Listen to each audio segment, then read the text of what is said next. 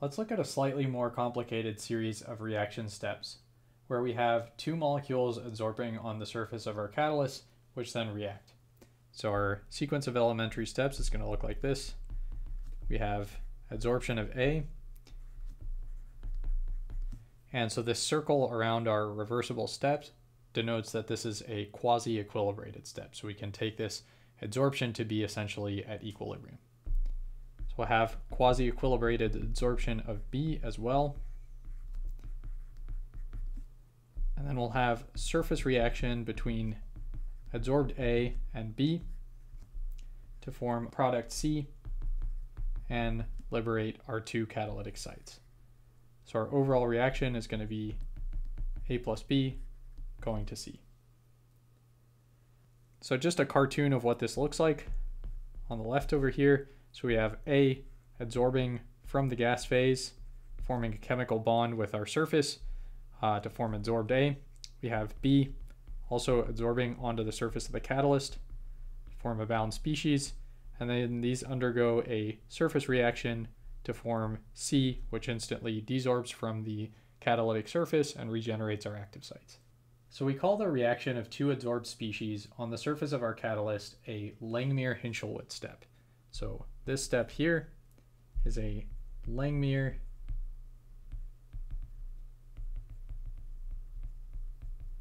Hinshelwood step. So the rate of this step, and by extension the rate of our overall reaction in this case, depends on the reaction rate constant K3 and the number of adsorbed A molecules adjacent to adsorbed B molecules. So previously, if we assume we have an ideal catalytic surface, we've developed expressions for the coverage of A, so theta A, which is equal to the concentration of adsorbed A divided by our total number of sites. So what fraction of the surface is populated by A.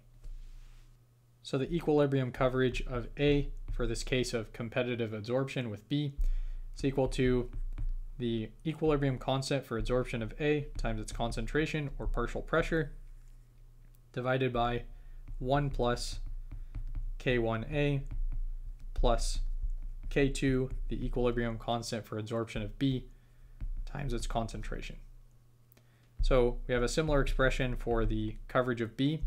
The numerator here will depend on the equilibrium constant of adsorption of B times its concentration.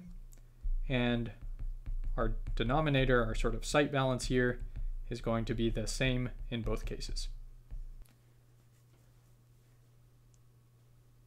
So again, we can write the overall rate as the rate of this Langmuir-Hinshelwood surface reaction. So that's going to depend on the rate constant for that step times the coverage of A times the coverage of B times our total number of sites so using our isotherms, we can write this rate expression. So it's going to be equal to K3, the rate constant times the equilibrium constants for adsorption of A and B times their concentrations divided by 1 plus K1A plus K2B. And since that same denominator appears in our coverage of A and coverage of B, the exponent in our denominator here is going to be 2. So in general, the exponent in the denominator here tells us the number of sites involved in the rate determining step.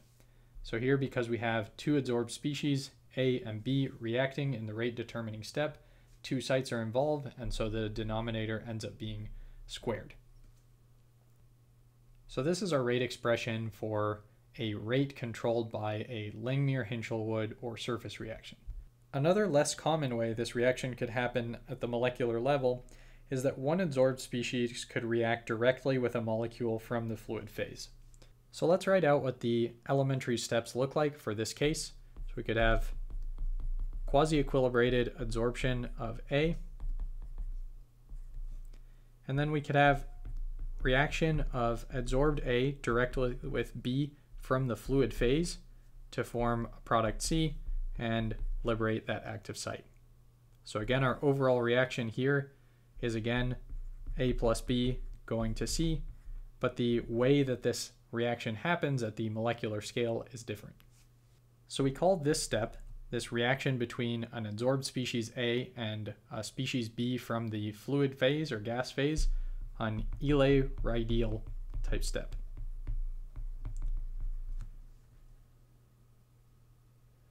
So in this case, the rate would be equal to our reaction rate constant K2 for this Eley-Rideal step times the coverage of A times the concentration of B or its partial pressure times the total number of sites.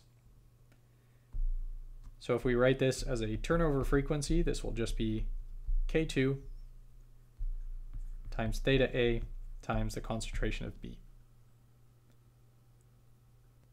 Now we can write the equilibrium coverage for A from a Langmuir isotherm.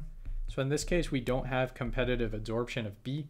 So our Langmuir isotherm will simply be the equilibrium constant K1 for adsorption of A times the concentration of A divided by 1 plus K1A. So here, there's no term associated with B in the denominator because B does not occupy any sites on the catalytic surface. So with that, we can write the turnover rate simply the reaction rate constant K2 for this Eley-Rideal step times the equilibrium constant K1 for adsorption of A times the concentrations of A and B divided by 1 plus K1 times a.